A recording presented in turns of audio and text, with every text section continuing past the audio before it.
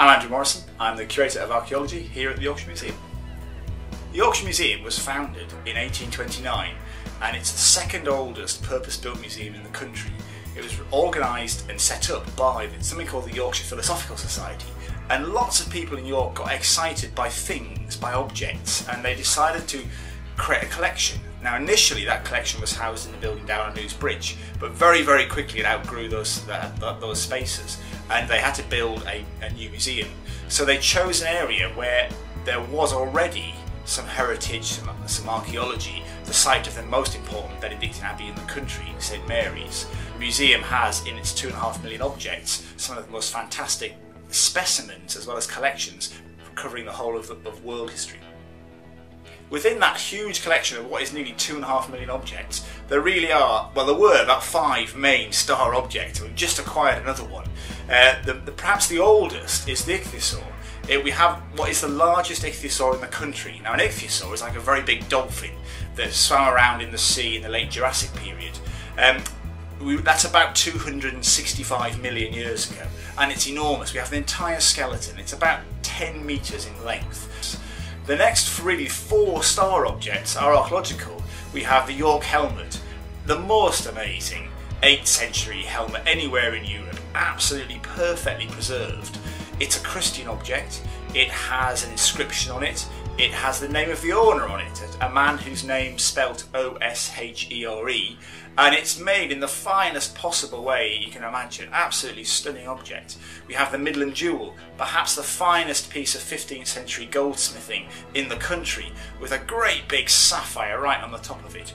And actually the Middleham Jewel, it looks lovely and it is made of gold, but the stories built into it about who might have owned it, why it was made, what it contained, because it's hollow inside, are just as exciting.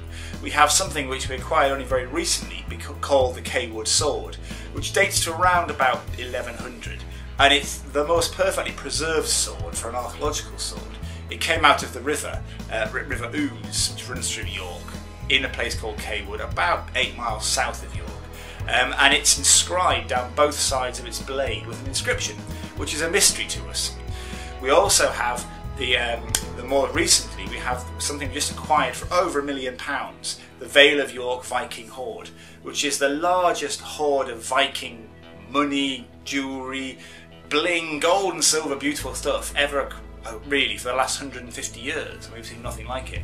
And we've just acquired that jointly with the British Museum. But also, of course, York is famous for its Roman history. So what we have eh, within the collection is an, enormous amount of Roman objects, but the star object amongst that collection is a gritstone statue, life-size, of the Roman god of war, Mars. He's wearing a helmet, he's fully decked out in armour, he's carrying a sword and a shield, but from all of Britain there's not another piece of three-dimensional sculpture like it. It uh, far outstrips anything else we've seen in archaeology from this country. All of these star objects and all of the other objects that are on display really are displayed in a manner that's not particularly accessible. But also, of course, these objects were put into the displays 20 years ago, and we've acquired an awful lot more material and a lot more knowledge as well since then. Also, the public who come and visit us, and those who don't come and visit us, what they really want is something that does the history of York. And there's nobody else placed in the city as well as we are to deliver the history of York in one go. Uh, so we're going to build into the, the museum the auditorium that we have, which we've never really used as part of the museum visit to deliver the history of York. It's the place to come in York to get really that all of that history in one place. We are starting a project now to refurbish the entire museum. Three permanent galleries, one based around the Romans, or one based around the early peoples of Yorkshire and York. So we'll start the Romans in the prehistoric period and we'll finish them in around about the 8th century. The second gallery is all about medieval York, and we start that in really the 8th century and carry it on through to the, to the Reformation, the period in around about 1600. Uh, what we're looking at really are people, that's the most important thing, because people don't change. We, are the same people we were 2,000 years ago. We do things that are slightly different.